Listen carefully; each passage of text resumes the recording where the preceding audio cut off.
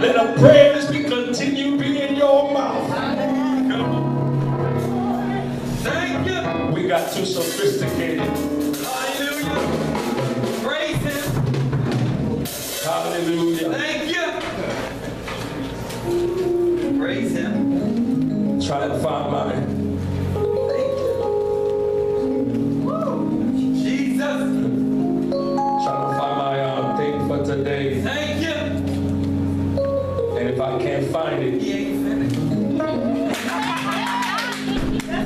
Trouble. So if I can't find it, I don't know. I know I wrote it.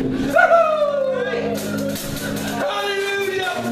And it seems like I can't find it. Thank you.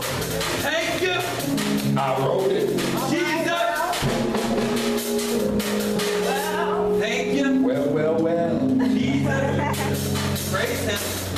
See, the devil don't understand. I got the Holy Ghost. I don't need no paper. Hallelujah.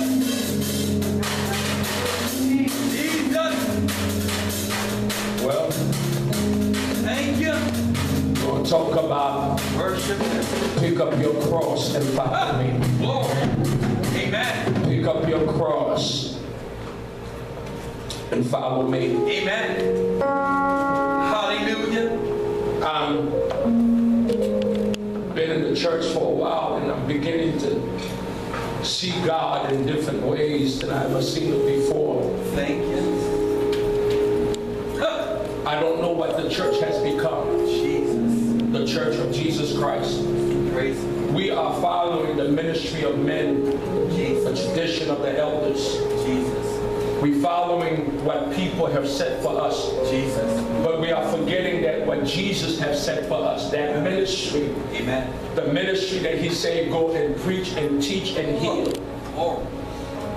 mankind. And we need to pick up that ministry again. Amen. Amen. We need to go back to what the foundation that Jesus has set, not the, the tradition that men are fathers, are mothers in the gospel, but what Jesus, the ministry of Jesus, the ministry that he died for, the ministry of commitment. Amen. And picking up the cross, talk about a committed people. Thank you, Jesus. I, I remember the days when the church was powerful. We didn't have no PhD, no doctorate, Amen. but their mothers know how to pray. They didn't know how to read the Bible. You go ahead. Somebody had to read it for them, but they understood the power of the cross. Glory. Amen. Now the cross has become a shame to us. Jesus. But there is power in the cross. That is the power of God's love. Is and what He is. And we don't preach about it. We preach about the seven steps to prayer, the seven steps to receiving, the seven steps to that. But guess what? We have to forget. See, we can't forget about the first step was the cross. The power of the cross of Jesus You preach it. the power of that cross. It is in the cross that we see God's love. It is in the cross we see his commitment to mankind. Amen. It is in the cross that we see his power. It is in the cross that we see that God is committed to us. It is in the cross that we see that he loves me. It's in the cross that he said that you can be healed, that you can be delivered, that you can be set free. It's in the cross of Jesus. Go ahead. Hallelujah. Oh God. That's why Paul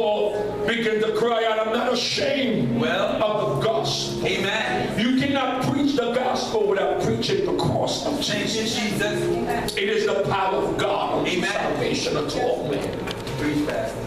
Go ahead. And the reason that we move away from the cross because we have so much, you know, the education in the church. We have so much education, so much PhDs and doctorate. There's nothing wrong with learning. Jesus. But you can't forget about Jesus. It is the power Amen. of the Holy Spirit that can heal a man. Thank you. It is the power of the Holy Spirit that can save a man. Thank you. It is the power of the Holy Spirit that can bring regeneration of a man that was against God and bring him back to serve Christ. It is the power of the cross that is moved to the Holy Spirit unto all men. Have your way, of God. It is, it is in the same sense Speak, Lord. that when Jesus showed his commitment in the cross, God is asking us Jesus. to lay down our lives Hallelujah. just like Amen. he laid down his life. Yeah, Hallelujah. yeah. Go ahead. God is saying, I need commitment. Amen. See, the reason we don't see healing Jesus. We don't see prayers. We don't see people being the blind seeing and the lame walk Jesus. because the church is not committed because you cannot get power Ah. without prayer. Amen. Hallelujah. Hallelujah. Jesus. Amen. Uh-huh. The Amen. church stopped praying to God. Oh yeah. The church starts seeking His Jesus. presence because without His presence, Well. there is no power to heal. Amen. Without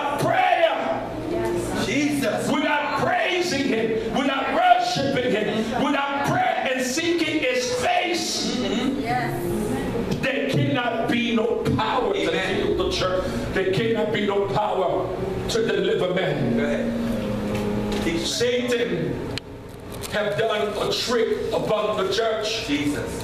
where the church is seeking more prosperity Jesus. than seeking God's presence. Help us, Lord. Where we have mistaken prosperity as God being with you, then if God is is is, is seen in prosperity, why are those guys like Sean P. Diddy Combs and Jay-Z who don't serve God? Jesus. Why they got money? Mm. Satan have made the church to be comfortable in where they are. Help us, Lord. Satan have told the church that it is not important to get up in the morning to praise and to seek his face. And guess what? When we are praying, we're no longer praying for power. Jesus. We're praying for things. Go ahead. Go ahead. Teach. Yeah. Teach. We praying for more stuff. Jesus. We praying for this and that, but not the power of the Spirit of God to be in us so we can help somebody else. Amen. And we asking for more power so people can know who you are instead of knowing who Jesus is. Help us, Lord. Oh yeah.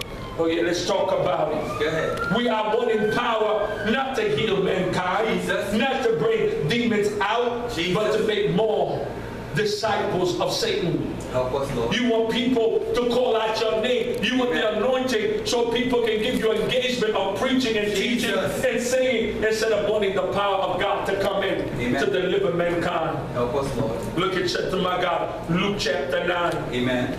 Amen. Not going to be too long today before you. Not going to be too long. Because guess what? You don't have to be to, to, to be long to be strong. Well, amen. Luke chapter 9. Teach man of God. We're Hallelujah. going to look at verse 23 Bless him, Jesus. to 27. Amen. When you have it, let's say amen. Amen. He said to all of them, Those who want to come with me must say no to the things they want. Jesus. Can I say it again? Hallelujah. Those who wants to come with me Amen. must say no to the things they want. Amen. What is it talking about?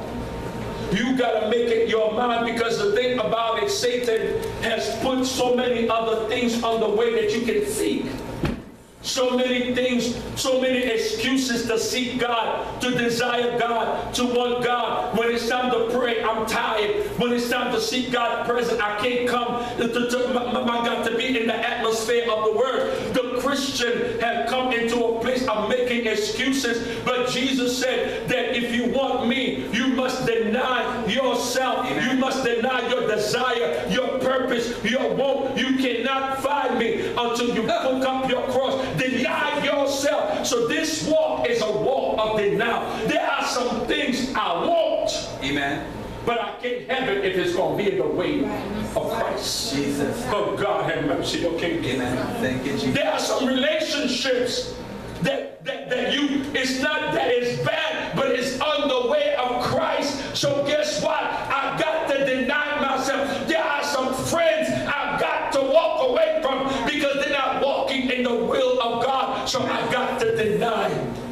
Myself Jesus. from some things so I can help God. Because what is God saying? If you want what I want, Well- if you want my power to be over your life, there's going to be a commitment to me like you have never committed before. Amen. Okay, you think I'm joking? It says this to whom much is given, Well, much is required. You're not going to get God's power and thinking you're going to play with it like a kid with a gun because this is the power of God that's on you. Amen. In the power of God, He got to know that He owns you. He got to know that you belong to Him. Because guess what? When He tells you to get up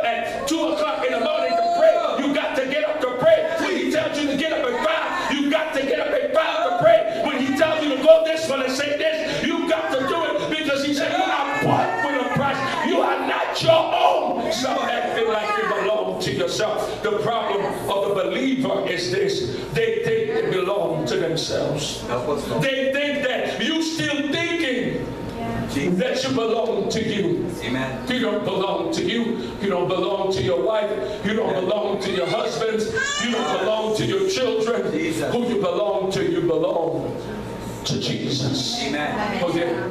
Oh that's the problem. Because the thing about it, most believers try to make time for Jesus. You don't make time for him. Jesus. All your time is his. Oh yeah. Amen. Nobody understand it. Uh-uh. If there's any choice to be made, he comes first. Amen. And that is the problem with us. And we asking God, do this for me, do this for me. But guess what? The problem is, is Jesus first in That's right. your life? That's right. yeah, yeah, yeah. That's Yeah, right. You can say, God, heal me, but am I first in your life? Amen. Or do you have to decide between me and somebody else, or something else, or what you like? Or I like this show today. I can't come get the word because I love this show. I can't make it because the bus ride, and this and that ride, and this is going on. All the excuses that we make. Amen. Jesus said, if you want me, Well, uh-huh. He said, if you want me, Amen. Oh yeah. Oh yeah, if you want me, guess what you're gonna have to do? thank you. You must say no to the things they want. Jesus. Pick up their crosses every day, not one time. Amen. You see, the thing about it, you thought that you pick up your cross when you first got saved, but the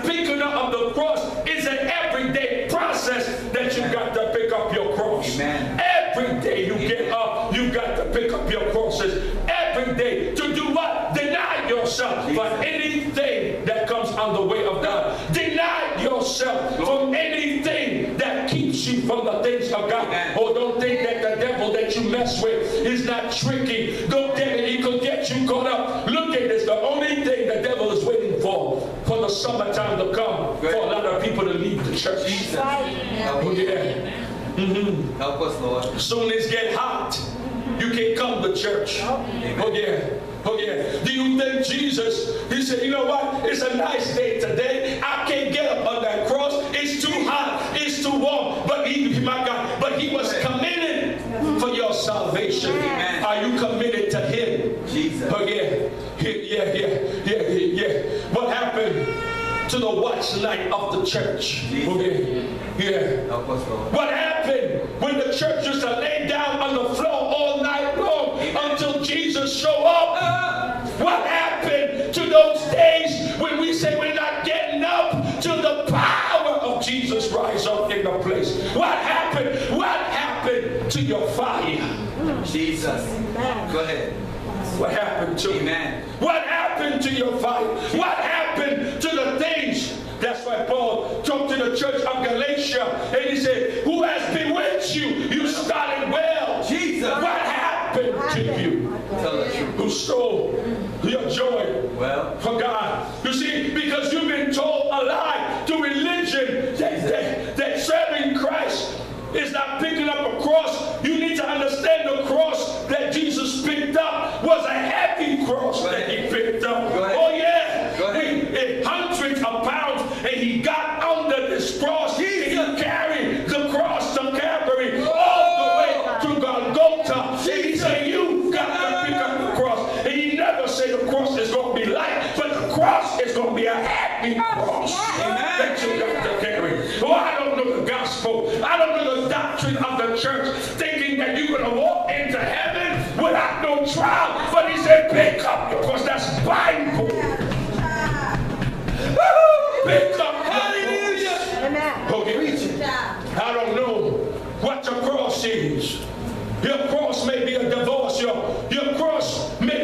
sickness. Your cross may be no money and all kind of things that you do. It is the cross. It does not say that Jesus is not Lord, but if you're going to serve him, you got to pay.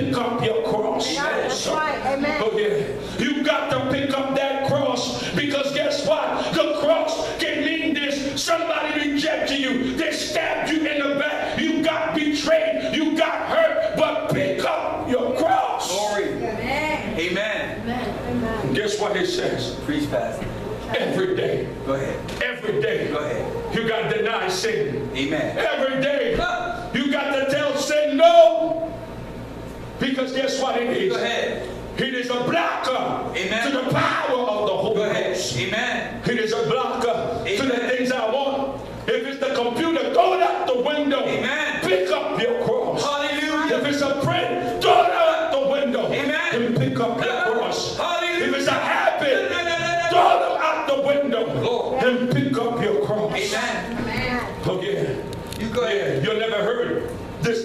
this type of messages because guess what? You've been taught that. We we we we have become friends with mammon. Jesus. We have become friends with those things that God has denied. We have become comfortable. And some of you say, well, Pastor, I gotta eat, I gotta have a job. Well, guess what? That's why you're still broke and poor and down and disgusted. According to Matthew 6, he says, Seek ye first the kingdom of God and all of his righteousness, and all of these things shall be added on to you. Oh, yeah. Oh, yeah, you don't want to hear it. You don't want to hear the gospel, or you make excuses for serving him. Ah, You make excuses for hearing his word Hallelujah. because you won't pick up his cross. that's right. You won't pick up his cross and follow him. Oh yeah. Oh yeah. Oh yeah. Your job can send you to hell. Amen. Yeah. Because the devil, guess what happened to the children of Israel? He said, guess what? You are too idle. Give them more straw. You might he said, take away the straw from them. Because you're idle. Jesus. And the devil began to give the children of Israel too much work to do. The devil began to add unto their, my God, to their thing. Guess what happened? The devil will give you more work that you forget about God and you forget about the things of God. And you Go forget, ahead. he gets you all busy. He gets you all caught up with your life. He gets you all caught up was talking to my daughter and she was saying to me, oh, my boyfriend is acting. I said, forget about him. Amen. Forget him. Don't put your concentration on him. Who is he? Amen. Put your mind on God. You can let a man take you away from the things that God has for you. Don't let no man and how he treats you and how he pick up your cross. Amen. That's what I told her. Begin to look up to Jesus, who's the author and the finisher of your faith. Amen. Distracted in the season. Jesus. Don't be caught up in the season. Jesus. Oh God have mercy. And look what he says. Teach it. Those who want hmm. to save their lives hmm. will lose their Glory. Oh yeah. He said it. You try to keep that relationship, you lose it. Oh yeah. Try to you try to keep things without God, you lose it. Amen. Amen. You try to save your life. What is life is pure. But whatever it is, whatever you try to keep on your own, God can't keep for you. Jesus. Oh yeah. Can I tell you something? Talk about it. He said, I've come. Amen. to put a sword Jesus. in your home. He said it. Mother against father. Yeah. Son Jesus. against father. Amen. Mother-in-law against daughter-in-law. He said,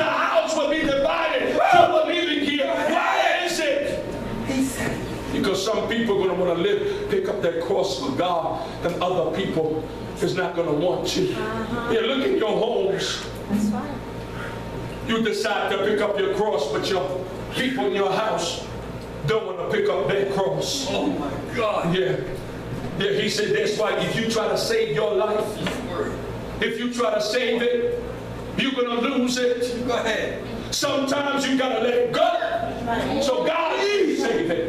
He said let go Yeah. and let God. Uh-huh. Thank you. Let go and let God. Go ahead. You trying to save it, the more you trying to put your hands on it, the more you say, I know